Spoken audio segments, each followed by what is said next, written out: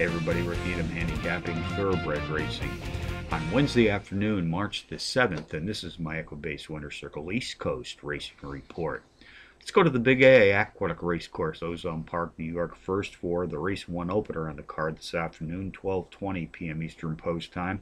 It's a six furlong sprint on Aqueduct's winterized inner dirt track. Fillies and mares, four years old and up, race for a starter allowance purse is some um, $38,000. Contenders number five, Isn't She Grand? Number four, Major Molly. Number two, Lady of the Forest. And number three, La La.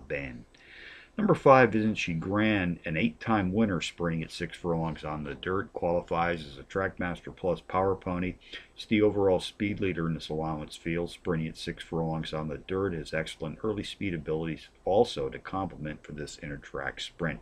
She's produced power runs in five straight, hitting the board in four of her last five, winning twice in this recent streak of racing consistency. Jockey Cornelio Velasquez and trainer Rudy Rodriguez sent her to the post. They've hit the board with 54% of more than 125 entries saddled as a team to date. Number four, Major Molly, a 4 to 1 shot, also has nice early speed abilities. Is the pace profile leader, has hit the board in three of her last five, winning twice. However, I also note that none of her last five efforts qualified as a power run. Race one summary number five, Isn't She Grand? Tops my contenders list today, which also includes number four, Major Molly, number two, Lady of the Forest, and number three, La La Ben. That's 5423 in the first from the Big A. Gulfstream Park, race number nine this afternoon, 5.05 p.m. Eastern Post Time. It's a five furlong sprint on the turf, three-year-olds and up race for an optional claiming prize of some $62,750. Contenders number 9, Far Eddie, number 6, Gentleman's Code, number 12, Dark Bay, and number 3, Martini Madness. Number 9, Far Eddie, a 4 to 1 shot. The overall pace profile later in this optional claiming field, sprinting at 5 furlongs on the grass, comes off a power run win. Facing better company to break his maiden in his first asking. Jockey Javier Castellano was in his irons for that win 33 days ago here at Gulfstream Park, which produced a positive 330% return on investment in the process. Castellano is back today for his second ride, gunning for back-to-back circle trips.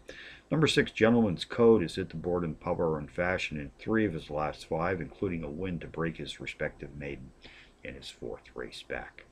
Race 9 summary, number 9, Far Eddie, tops my contenders list today, which also includes number 6, Gentleman's Code, number 12, Dark Bay, and number 3, Martini Madness, 9 6 12 3 in the ninth from Gulfstream Park. Bonus long shots, Charlestown, race 5, the 9 to 2 shot. Number 13, Carol snuck in, drops in class by 11 units, the overall speed leader in this maiden field, sprinting at or about tonight's distance of 6 and 1 half furlongs on the dirt.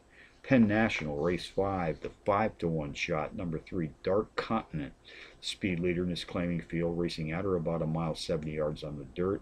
Has hit the board in power run fashion in four of her last five outings, including a power run win in her second race back. So handicapping from both the Big A, Aqueduct, and Gulfstream Park on a Wednesday. Rick Needham for the Equibase Winner's Circle, reminding you as always to please bet with your head, not over it.